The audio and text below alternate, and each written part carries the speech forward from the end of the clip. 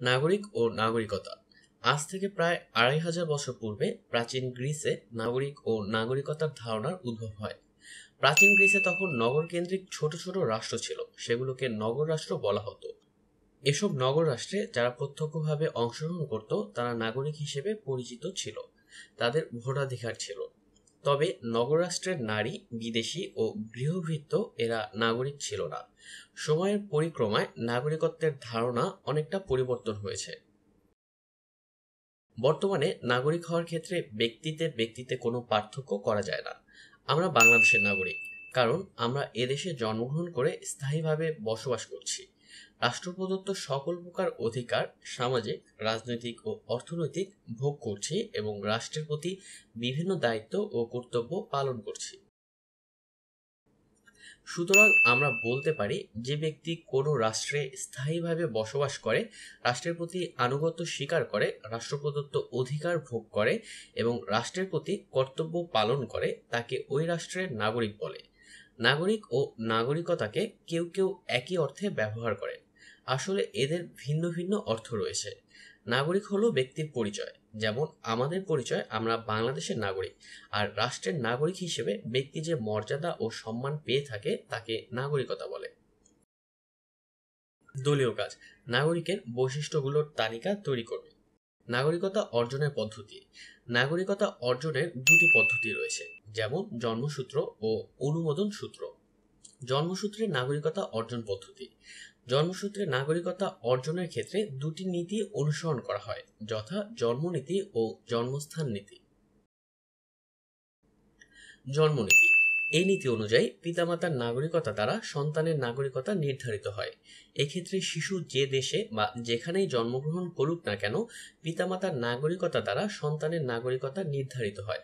যেমন, বাংলাদেশের এক দম্পতি যুক্তরাজ্যে গিয়ে একটি সন্তানের জন্ম দিল। এই নীতি অনুসারে ওই সন্তান বাংলাদেশের নাগরিকতা লাভ করবে, কারণ তার পিতামাতা বাংলাদেশের নাগরিক। জন্মস্থান নীতি। এই নীতি অনুযায়ী পিতামাতা যে দেশেরই নাগরিক হোক না কেন, সন্তান যে রাষ্ট্রে জন্মগ্রহণ করবে, সে ওই রাষ্ট্রের নাগরিকতা লাভ করবে। যেমন, বাংলাদেশি পিতামাতার সন্তান মার্কিন যুক্তরাষ্ট্রে জন্মগ্রহণ করলে সে মার্কিন যুক্তরাষ্ট্রের নাগরিকতা লাভ করবে। এক্ষেত্রে নাগরিকতা নির্ধারণে রাষ্ট্রকে প্রাধান্য দেওয়া হয়। এই নীতি অনুযায়ী কোনো বাবা মার সন্তান অন্য দেশের জাহাজ বা দূতাবাসে জন্মগ্রহণ করলেও জাহাজ বা দূতাবাস যে দেশের, সে ওই দেশের নাগরিক হবে। এক্ষেত্রে উল্লেখ্য, জন্মসূত্রে নাগরিকতা প্রদানের ক্ষেত্রে বিশ্বের অধিকাংশ দেশ জন্মনীতি অনুসরণ করে। বাংলাদেশ তার মধ্যে একটি। অন্যদিকে, আমেরিকা, কানাডা সহ অল্প কয়েকটি দেশ জন্মস্থান নীতির মাধ্যমে নাগরিকতা নির্ধারণ করে। অনুমোদন সূত্রে নাগরিকতা অর্জনের পদ্ধতি। কতগুলো শর্ত পালনের মাধ্যমে এক রাষ্ট্রের নাগরিক অন্য রাষ্ট্রের নাগরিকতা অর্জন করলে তাকে অনুমোদন সূত্রে নাগরিক বলা হয়। সাধারণত অনুমোদন সূত্রে নাগরিকতা অর্জনের ক্ষেত্রে যেসব শর্ত পালন করতে হয়, সেগুলো হলো সেই রাষ্ট্রের নাগরিককে বিয়ে করা, সরকারি চাকরি করা, সততার পরিচয় দেওয়া, সে দেশের ভাষা জানা, সম্পত্তি ক্রয় করা, দীর্ঘদিন বসবাস করা, সেনাবাহিনীতে যোগদান করা। রাষ্ট্রভেদে এসব শর্ত ভিন্ন হতে পারে। কোনো ব্যক্তি যদি এসব শর্তের এক বা একাধিক শর্ত পূরণ করে, তবে তাকে নাগরিকত্বের জন্য আবেদন করতে হয়।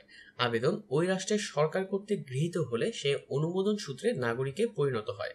বাংলাদেশ সহ বিশ্বের অনেক রাষ্ট্রের নাগরিকরা যুক্তরাষ্ট্র, কানাডা, যুক্তরাজ্য, অস্ট্রেলিয়া প্রভৃতি রাষ্ট্রে অনুমোদন সূত্রে নাগরিকত্ব লাভের মাধ্যমে বসবাস করছে। তাছাড়া মানবিক কারণেও নাগরিকতা দেওয়া হয়। যেমন কোনো ব্যক্তি যদি কোনো রাষ্ট্রে আশ্রয় নেয়, তবে সেই রাষ্ট্র আবেদনের ভিত্তিতে নাগরিকত্ব দিতে পারে। দলীয় কাজ, নাগরিকতা অর্জনের উপায় সংক্ষেপে বর্ণনা করবে দ্বৈত নাগরিকতা। একজন ব্যক্তির একই সঙ্গে দুটি রাষ্ট্রের নাগরিকতা অর্জনকে দ্বৈত নাগরিকতা বলে। সাধারণত একজন ব্যক্তি একটিমাত্র রাষ্ট্রের নাগরিকতা অর্জনের সুযোগ পায়।